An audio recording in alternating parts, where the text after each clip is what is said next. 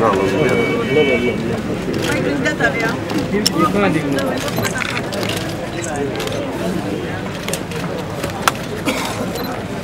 哦，看见了没？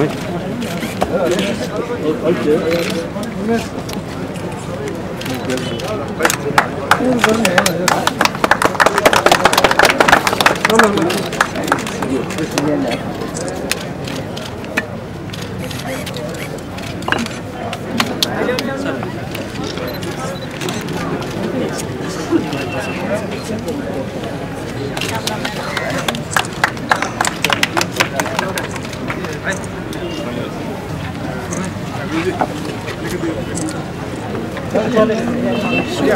हाम्रा सांस्कृतिक धरोहरहरूको क्षति भयो र ठुलो पीडाबाट नेपाल र नेपालीहरूले गुज्रिनु पर्यो।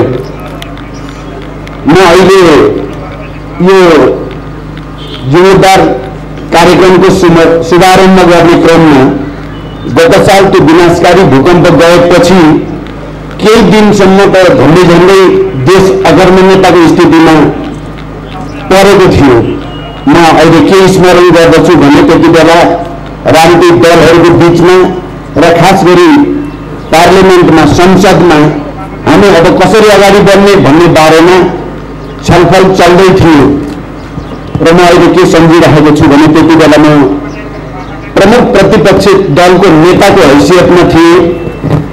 र मैले संसदको रोस्टमबाट अहिले देशमा यति ठुलो क्षति भएको छ। यो क्षति र पीडाको स्थितिमा हामीले के सत्ता पक्ष के प्रतिपक्ष आम नेपालीहरू सबै मिलेर एउटा राष्ट्रिय एकताको प्रदर्शन पनि हामीले गर्नु छ र संसदबाट हामीले एउटा सङ्कल्प एउटा प्रतिबद्धता हामीले व्यक्त गर्नु छ कि हामी यो पीडाको घडीमा राष्ट्रिय एकताको पक्षमा छौँ। हामी उद्धार राहत र पुनर्निर्माणको सबै काममा सँगै मिलेर जानेछौँ। त्यसकारण मैले तत्कालीन प्रधानमन्त्रीलाई भनेको थिएँ कि तपाईँ डरसँग उभिनुहोस्। अब प्रतिपक्ष र सत्ता पक्षको कुरा होइन। सिङ्गै राष्ट्र एक भएर नै हामी अगाडि जानु छ। त्यो भावना अनुसार नै हामीले संसदबाट सत्ताइस बुधे सङ्कल्प प्रस्ताव पारित गऱ्यौँ र त्यो जनताको लागि एउटा ठुलो राहत सबै राजनीतिक शक्तिहरू एकैसाथ उद्धार र पुनर्निर्माणको काममा पनि हामी एकताबद्ध भएर जानेछौँ भन्ने सङ्कल्प गरिएको थियो। म आज त्यो स्मरण गर्दैछु।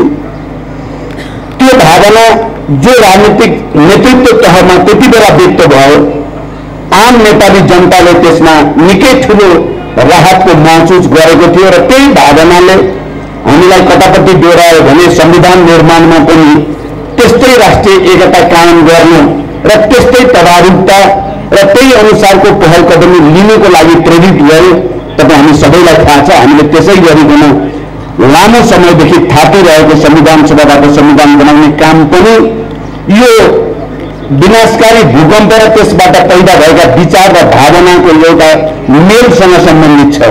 मलाई त कता कता के लाग्छ भने यति ठुलो पीडा र क्षतिबाट हामी नगुज्रिन गुज्रिन नपरेको भए राजनीतिक नेतृत्व तहमा त्यो खालको संविधान पैदा हुँदैन थियो कि र संविधान बनाउने कार्यमा त्यस खालको एकता पैदा हुँदैन थियो कि भने जस्तो पनि मलाई लाग्छ। जे त्यो संवेदना त्यो पीडा र त्यो भावनाले हामी नेपालीहरू सबैलाई एउटा कर्मतिर एउटा नयाँ काम सम्पन्न गर्नेतिर नयाँ एकता प्रदर्शन गर्नेतिर प्रेरित गर्यो र हामी त्यसरी अगाडि बढ्यौँ। अहिले केही ढिलो पक्कै पनि भयो। अझै पनि एउटा वर्षा एउटा हिउँद नेपाली जनताले जहाँ बढी क्षति भएको थियो बडो त्यो पीडाको साथ कष्टको साथ बिताउनु पर्यो। पक्कै पनि यो यति राम्रो कुरो भयो भनेर कसैले पनि भन्न सक्दैन। यति ढिलो नहुनु पर्थ्यो। निकै तीव्र गतिमा नै पुनर्निर्माणको काम अगाडि बढ्नु पर्थ्यो।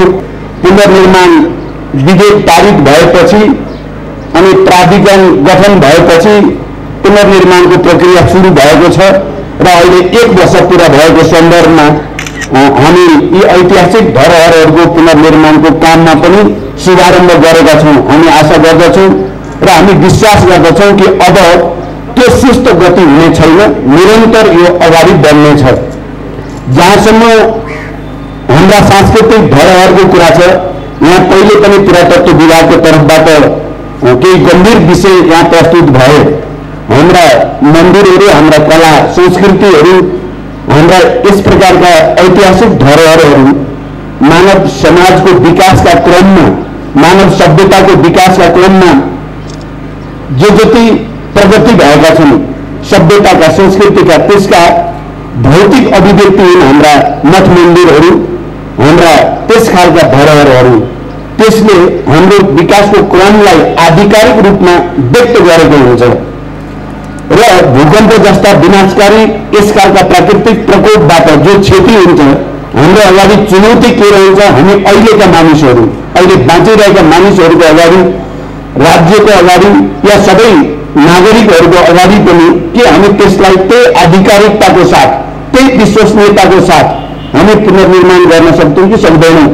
हामी फेरि त्यस खालको भूकम्पबाट त्यसको प्रतिरोध गर्न सक्ने क्षमता सहितका हामी धरोहरहरू निर्माण गर्न सक्छौँ कि सक्दैनौँ यो हामी सबैको निम्ति एउटा चुनौती हो भन्ने मलाई लाग्छ।